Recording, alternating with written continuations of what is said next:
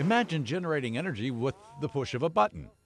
An Israeli company has come up with a way for some of the biggest energy consumers on the planet cars, trucks, and ordinary people to generate energy by simply doing what comes naturally moving across a surface. By embedding generators into roadways and sidewalks, Tech has found a way to turn pressure into energy.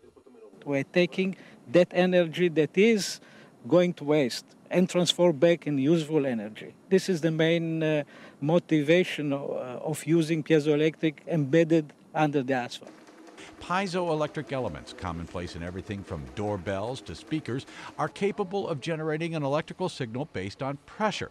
So, for every car tire that passes over the element, a current is generated. And the concept isn't limited to roadways. Pedestrian can provide the pressure for the piezoelectric generators to produce also energy.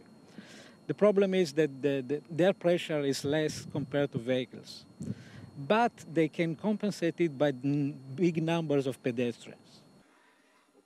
Innowattech believes it can generate energy up to 50% cheaper than solar generated fuel without the cost of the associated infrastructure.